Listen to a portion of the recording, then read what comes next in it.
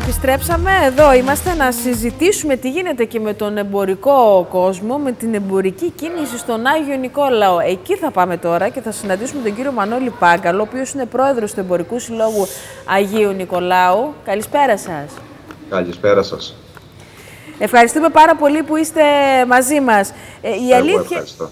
Πώς είναι η εμπορική κίνηση αυτή την περίοδο στον Άγιο Νικόλαο; Ε, εννοείται τώρα που μπήκε ο Νοέμβριος. Τώρα που μπήκε ο Νοέμβριος, γιατί καταλαβαίνουμε ότι σιγά σιγά μπαίνουμε και σε χειμερινού ρυθμούς, μακριά από το κομμάτι το τουριστικό και την ενίσχυση την τουριστική. Ε, ναι, ήδη είναι αντιληπτό ότι η σεζόν ε, βάδιζε, μάλλον βαδίζει προς το τέλος της. Ε, ήδη αρκετά καταστήματα, ειδικά από την εστίαση, έχουν ε, κατεβάσει ρολά. Ε, η κίνηση είναι σαφώς λιγότερη, είναι πιο πολύ από επισκέπτες της πόλης μας παρά ότι μόνιμους τουρίστες της πόλης μας. ε, μέχρι 15 Νοεμβρίου τουλάχιστον, ε, από ό,τι ξέρω, και τα τελευταία ξενοδοχεία θα κλείσουν. Οπότε μπαίνουμε κανονικά ε, στη σημερινή νάρκη του, της πόλης μας.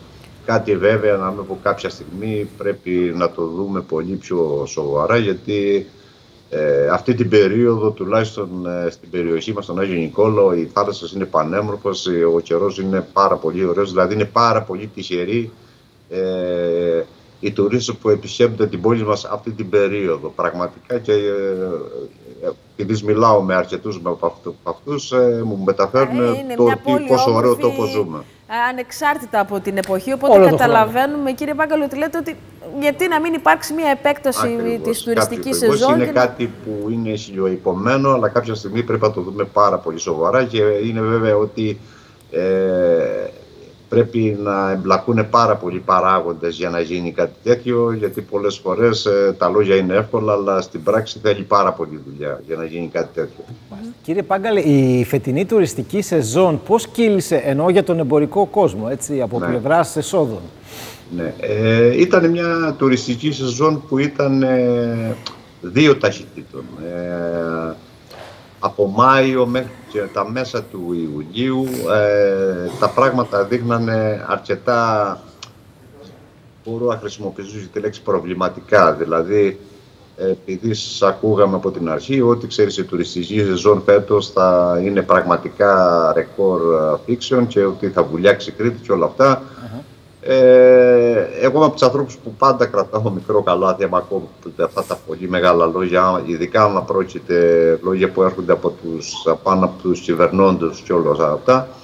Ε, τελικά η σεζόν ε, κινήθηκε σχετικά καλά από τα μέσα Ιουλίου ε, μέχρι και τα τέλη του Σεπτεμβρίου ήταν μια καλή τουριστική σεζόν. Άρα άσχημο το πρώτο μισό, κακό το πρώτο μισό, καλύτερα δηλαδή, ήταν, ήταν μια τουριστική σεζόν καλή για περίπου δυόμισι μήνες.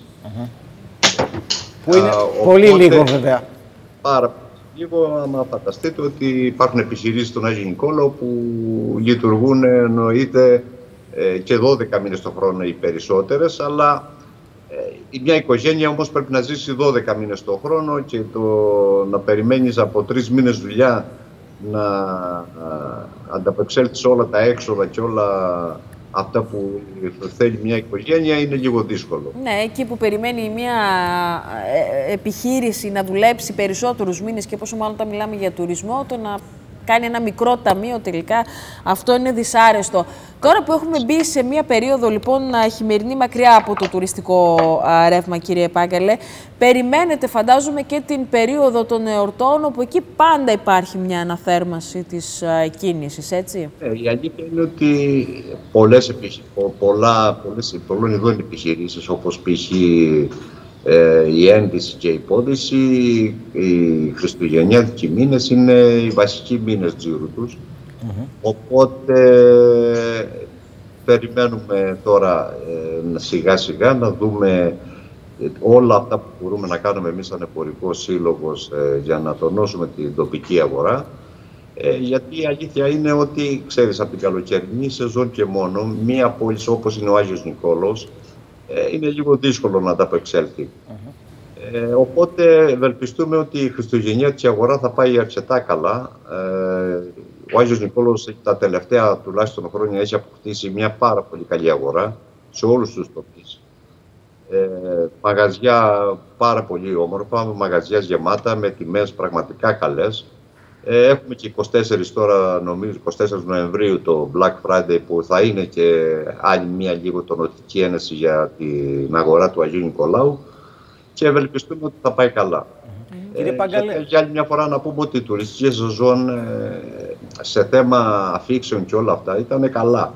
Ε, στο θέμα όμως το και τελικά το, το ταμείο που λέμε, έτσι καταλαβαίνετε ότι σε μια, μια τουριστική περιοχή σαν τον Αγιονικόλο που κακό για μένα, αλλά δυστυχώς έτσι είναι, εξαρτιέται τουλάχιστον 100%, σχεδόν 100% από, τον τουρισμό, ε, ήταν λίγο προβληματική. Γιατί καταλαβαίνετε σε όλη την Ευρωπαϊκή Ένωση υπάρχει το κόστος ε, ζωής, έχει, έχει ακριβήνει πάρα πολύ και σαφώς το, ε, ε, ε, ένας προϋπολογισμός που θα έκανε μια οικογένεια για το τι θα καταναλώσει στις διακοπές, σαφώς είναι πολύ χαμηλότερο από ό,τι ήταν προηγούμενα έτη.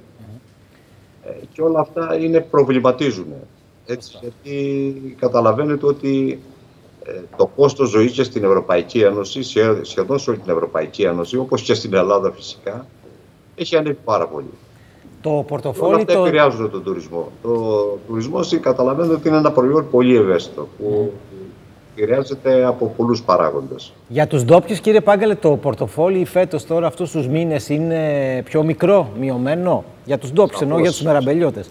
Σαφώς είναι πιο μικρό. Σαφώς είναι πιο μικρό. Η προηγούμενη χρονιά, για να λέμε και τα πράγματα όπως είναι, που υπήρξε και μια καλή περίοδος ε, για το ελαιόλαδο και για την παραγωγή ελαιολάδου όπως η Περισσνή και πραγματικά ήταν μια καλή μια πάρα πολύ καλή, μεγάλη, καλή βοήθεια οικονομική για, όλες, ε, για όλο το, την περιοχή του Αγίου Νικολάου φέτος και από αυτή την πλευρά τα πράγματα είναι πολύ δύσκολα. Οπότε καταλαβαίνετε ότι θα είναι ένας σχετικά όχι εύκολος τουλάχιστον χειμώνας.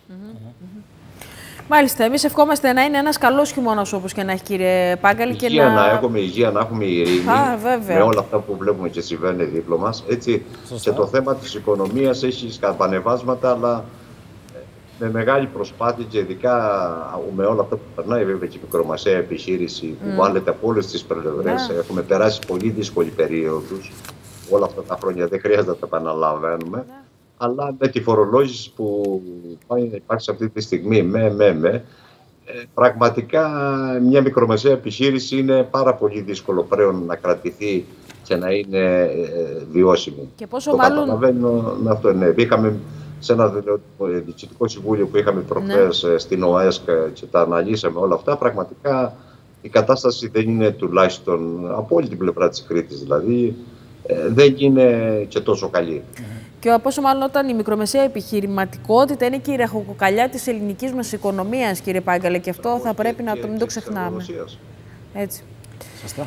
Λοιπόν, σας ευχαριστούμε. Σας ευχαριστούμε πολύ. Καλά, θα τα ξαναπούμε σίγουρα το αμέσως επόμενο διάστημα. Σας ευχαριστούμε πολύ.